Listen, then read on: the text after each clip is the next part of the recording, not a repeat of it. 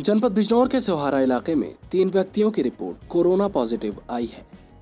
Corona से संक्रमित व्यक्तियों के मिलने के बाद प्रशासन में हड़कंप मच गया। प्रशासन द्वारा उक्त क्षेत्र को सील करते हुए हॉटस्पॉट घोषित कर दिया गया है, जिसके बाद इन इलाकों में लोगों की जिंदगियाँ घरों में कैद हो गई हैं। बीते दिनों सोहारा में कुवैत से लौटे एक युवक की रिपोर्ट कोरोना पॉजिटिव आने के बाद जिला प्रशासन द्वारा उक्त युवक को उपचार के लिए चिकित्सालय भेजते हुए उसके परिजनों को भी क्वारंटीन सेंटर भेज दिया गया था।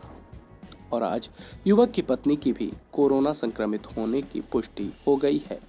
इसके अलावा क्षेत्र के गाँव अलादीन और मकसूदपुर में भी दो लोगों की जाँच रिपोर्ट पॉजिटिव आई है।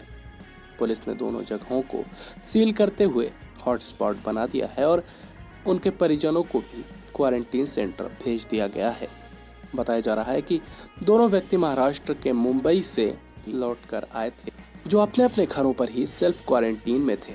सामुदायिक स्वास्थ्य केंद्र प्रभारी डॉक्टर खालिद अख्तर ने बताया कि 55 लोगों के सैंपल जाँच के लिए भेजे गए थे, जिनमें से बावन की रिपोर्ट निगेटिव आई है और तीन लोगों की रिपोर्ट पॉजिटिव आई है।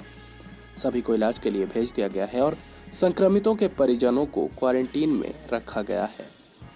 पीएलए न्यूज़ के लिए बिजनौर से शारिक जैदी की रिपोर्ट। मेरा नाम जुनेद हवा है। और मैं यहाँ ग्राम प्रधान हूँ। अच्छा ये जो पॉजिटिव निकला प्रधान जी क्या कहा जा रहा है? ये जो है बॉम्बे से आया था और इसको जो है होम क्वारंटाइन जो है करा दिया गया था। अब इसके यहाँ जो है इसकी कोई रिपोर्ट पॉजिटिव आई है। इसके परिवार को जो है जाँच के लिए भेज दिया गया है। और यहाँ के जो इसके आसपास का इलाका है, उसको हॉटस्पॉट जो है, वो करा दिया गया